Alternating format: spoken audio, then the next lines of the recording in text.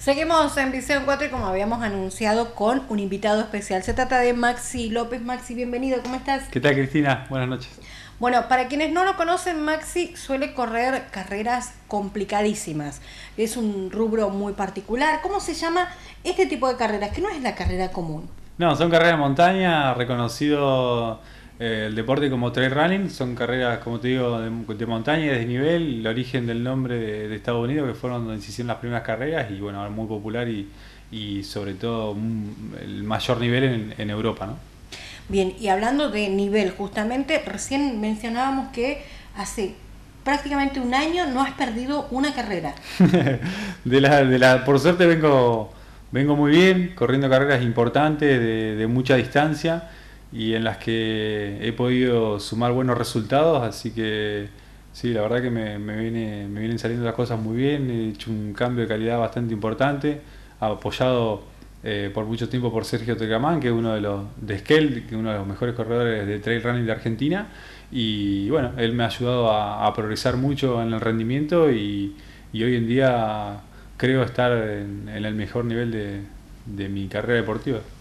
Bueno, cuando uno habla de una carrera deportiva, esto implica un entrenamiento especial, una dieta especial, digo, un acompañamiento en todo sentido. En este sentido, creo que quienes vemos que están ahí al pie del cañón es tu familia. Sí, sí, sí, ellos están permanentemente apoyándome eh, antes, durante y después de, las carreras. Eh, es fundamental para, poder seguir adelante, para que las cosas eh, sigan saliendo bien, así que nada, muy, muy agradecido a ellos siempre. Eh, a los que están cerca y también a los que están lejos porque, porque ellos también de alguna manera están sumando. Y después con respecto al día a día, sí, la verdad que es bastante, bastante complejo el asunto, eh, estar coordinando el trabajo, las actividades de la familia, eh, los entrenamientos, a veces entrenando doble turno, hay días en los que estamos preparando carreras bastante importantes como la que acaba de pasar, en los que, en los que hasta tres veces por día eh, tres estímulos distintos, eh, así que es bastante sacrificado, pero bueno, yo sé que, es la manera de, poder estar ahí y ser competitivo en las carreras importantes. La que acaba de pasar es nada más y nada menos que Patagonia Run en San Martín de los Andes y me decían algunos competidores que te vieron allí que realmente era impresionante el nivel, el nivel de preparación y una de las cosas que me decían, ¿quién lo entrena? ¿quién lo acompaña? ¿quién ¿Quién lo asiste para que su nutrición sea buena, para que, digamos, mantenga una línea de conducta? ¿Quién te acompaña en todo este proceso? En realidad soy bastante autodidacta. Eh, como te dije, en la parte de entrenamiento físico me ha ayudado mucho Sergio en, los años previos, pero últimamente eh, estoy entrenando solo eh, por, los conocimientos que, que tengo, que he adquirido, lo que he podido estudiar. Así que eh, lo voy haciendo lo voy haciendo de forma personal día a día viendo qué es lo que lo que me resulta mejor probando cosas pero por sobre todo exigiéndome todos los días entrenando dos veces.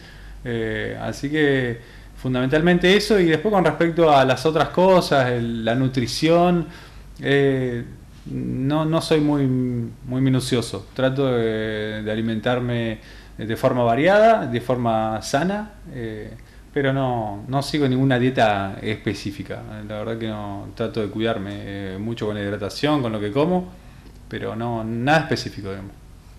Bien, y ahora se viene una nueva competencia, esto es aquí, la quinta edición de La Cabeza del Indio, una ya casi un clásico, pero este año con una modificación en la fecha.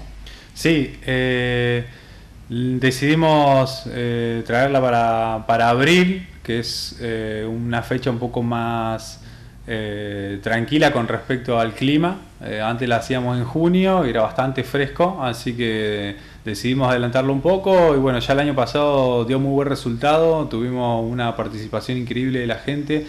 Se hace en la escuela 337 del barrio Usina, va a ser este domingo 29 de abril, a partir de las 10 horas el lanzamiento de la competencia, pero hasta las hasta las 9 tendrán tiempo ahí de, inscribirse si hay alguno que esté un poco rezagado. De todas maneras, para los locales sepan que el sábado vamos a estar haciendo inscripciones y acreditaciones en la escuela 337 de 4 a, 6 de la tarde. Bien, y para aquellos que eh, todavía no se inscribieron, ¿qué costo tiene? ¿En qué otro lugar además se pueden contactar? Ahí como lo, como lo veían en el afiche, en desafío cabeza del indio outlook.es, pueden mandar los datos o nos pueden buscar en, en, Facebook, también tenemos una página que es Cabeza del Indio, quinto desafío Cabeza del Indio.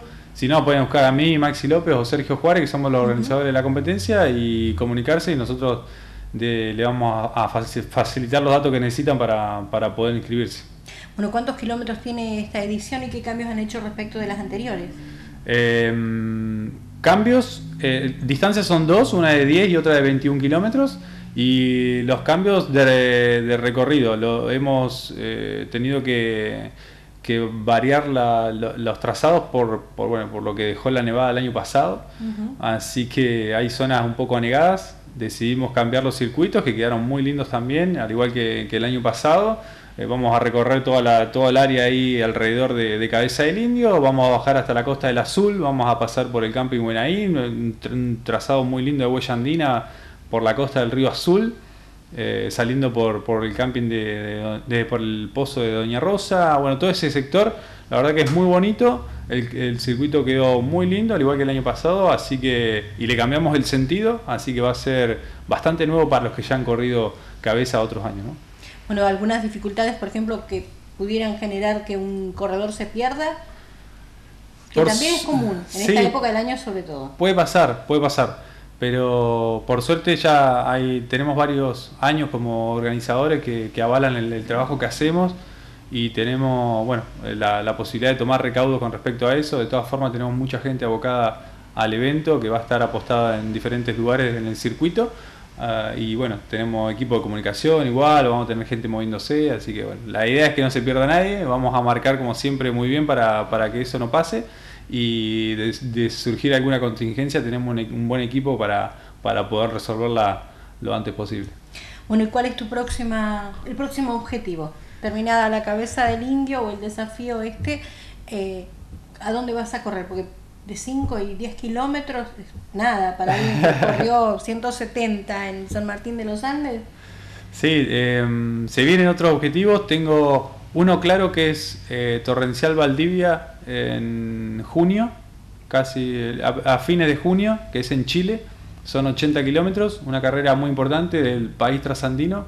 Eh, así que eh, me invitaron y tengo ganas de ir. Y el mes que viene tengo ganas de ir también a correr Indomit, es una carrera de ultra en, Mendoza. Estoy viendo la, posibilidad de reunir el dinero para, poder viajar, así que si se llegan a dar las cosas, estaré largando a mitad de, mayo una carrera de 100 kilómetros en, en, Mendoza, en el Valle de Tunuyán, que como te digo se llama Indomit, es bastante importante también. Bueno, y para eso entonces aquellos que quieran colaborar o que tengan ganas de colaborar con, con la causa, ¿dónde se pueden dirigir? Y me buscan como Maxi López en el Facebook y ahí me van a encontrar. También tengo mi grupo de running, el que quiera sumarse también está colaborando de esa forma. Así que se puede, se puede buscar por ahí. Sí, sí. Maxi, muchísimas gracias. Gracias a usted. La palabra de Maxi López, un ganador, usted lo ha visto, además está trabajando mucho para que otros competidores aquí en la región participen de instancias como por ejemplo el quinto desafío de la cabeza del indio que va a ser este fin de semana.